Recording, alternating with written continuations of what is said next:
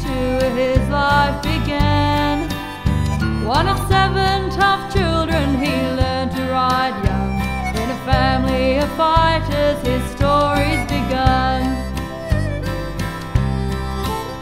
The Australian bushland Ron made his home. Horsebreaker and ringer, hard worker and son. And the became his offsider by the rodeo ring. Ron the Roughrider served this country well in the days of the traveling rodeo show.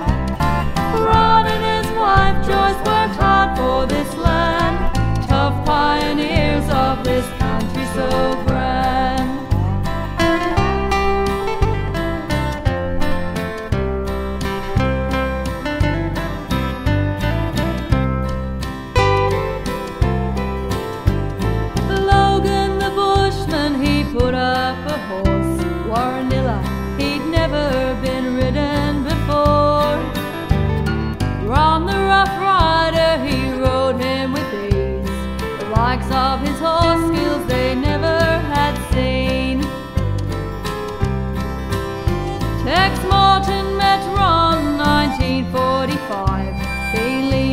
Rockhampton with him Ron did ride.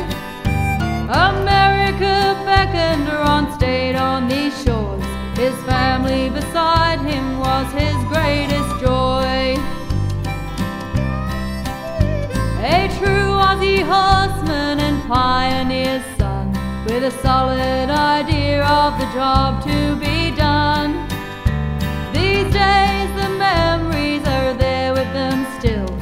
they live out the goal.